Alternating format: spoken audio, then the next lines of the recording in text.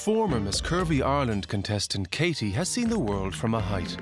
Now, she's ready to look love straight in the eye. I've been told a lot before that I'm kind of intimidating sometimes to guys like with the height. I was always like afraid of how tall I was and I'd, I'd like prefer to wear flats and stuff. Like I went for um, Miss Curvy Ireland. I'm meeting loads of other tall women that were beautiful and confident and happy in their skin and yeah, that definitely helped. Hi there. Hi. You're very welcome. I came sixth out of 2,000 applicants.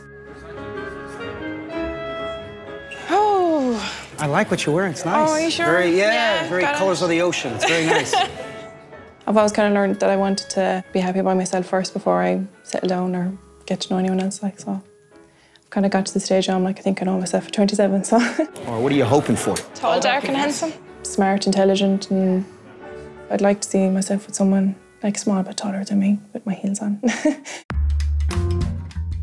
Arriving for his appointment at the First Dates restaurant is med student Daniel, a specialist in anatomy. I like tall women. I like uh, big bums. Um, I always have done, and like childbearing hips. Hi, hi. you? You're very welcome, sir. My dad's Nigerian, like I'm half African, and like black guys tend to go for women with sort of larger frames. No.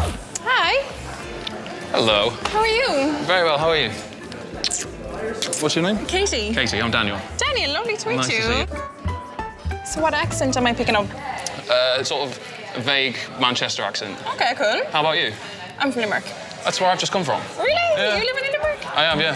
For the last two and a half years, yeah. Cool. Yeah. If you'd have said to me when I was 26, 27 that I'd be studying medicine in Ireland, I thought you'd have lost your mind. So you're studying medicine there? Yeah, I've been doing that for the last three and a half years now, so I got another four months, three or four months, and then Oh. My love life has been the thing that suffered the most from me doing this, but it's nearly finished and um, I'm ready to get it back on track. I like football.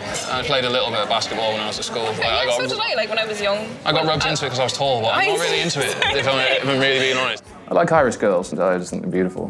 Thanks very much. I never felt more ready to sort of be in a relationship with someone. Cheers. Cheers.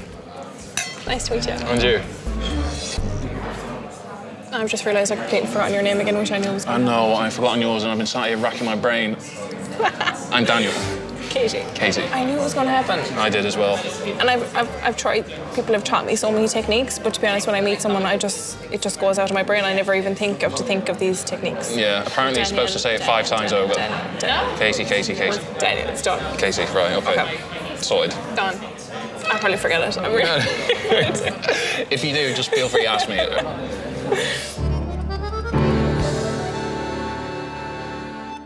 Make sure you subscribe to get a regular serving of love and romance.